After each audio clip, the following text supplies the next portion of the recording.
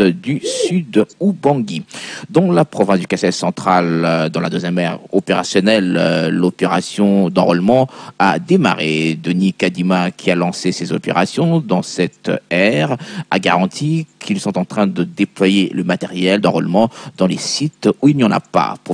Dans l'occasion, le gouverneur de la province, John Kabeya, a au cours d'un meeting populaire à Kananga appelé les centres kassaïens à s'enrôler massivement pour participer aux échéances électorales qui pointent à l'horizon. Détail avec Alain Saveur Makoba, le correspondant de Top Congo dans la région. Devant les militants et militantes des partis politiques membres de l'Union sacrée de la nation et d'autres personnalités, le gouverneur John Kabeya, accompagné du premier vice-président de l'Assemblée nationale, André Mbata, a appelé les centres kassaïens à s'enrôler massivement pour participer aux échéances électorales qui s'annoncent. S'exprimant en Tilouba devant la foule, le chef de l'exécutif provincial a invité les services de sécurité à protéger la population afin que chacun ait sa carte d'électeur. Les lois, tout déterminé, doit tout enrôler massivement. Aujourd'hui, nous sommes déterminés à nous enrôler massivement, que personne ne reste chez lui. Je demande à nos amis des services de sécurité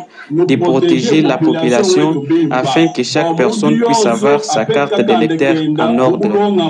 Nous ne voulons pas voir ce qui se passe dans d'autres provinces où pour avoir les jetons qui vous permettra d'avoir la carte d'électeur, il faut payer. Nous ne voulons pas cette pratique-là ici.